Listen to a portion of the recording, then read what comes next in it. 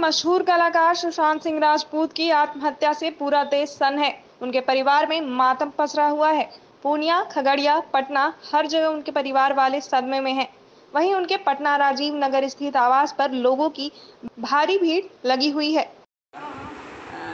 तो से देख रहे हैं जो हम तब से तब से है। हाँ तो लड़का बहुत बढ़िया है पता नहीं क्या हो गया अभी हम नहीं कर सकते। बहुत बड़ा शौक है।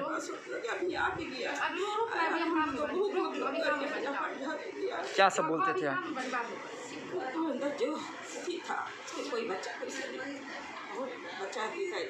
समझ में नहीं आया क्या उसका दिमाग में क्या कर शौक हम लोग का भी। है हम लोग हो गया हमारा। देने के लिए खाना खाएँगे, ऐसे निकले हैं ना ऐसे फ़ोन आ गया। अभी परसों चौथा रोज बात किया।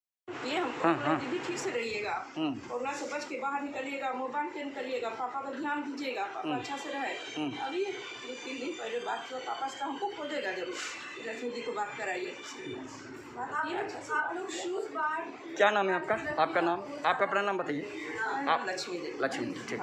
हर कोई सुशांत के घर पहुंचकर उनके परिवार का ढाढ़स बढ़ाने की कोशिश में जुटा है। सुशांत सिंह के परिजनों का रो रो कर बुरा हाल है। सुशांत के मामा ने कहा कि वह एक राष्ट्रवादी लड़का था। उसकी आत्महत्या की जाँच मोदी सरकार को करानी चाहिए। आगे आप सुनिए उनके परिवार वालों का इस खबर को जानने के बाद क्या रिएक्शन है। हम बिहार के तमाम नौजवान और राजपूत महासभा इसकी मांग करती है। हम राजपूत महासभा, हम इस हत्या की जाँच की मांग करते हैं सीबीआई से। अमित शाह से हम नरेंद्र मोदी से कि एक राष्ट्रवादी युवक की हत्या हो गई महाराष्ट्र में।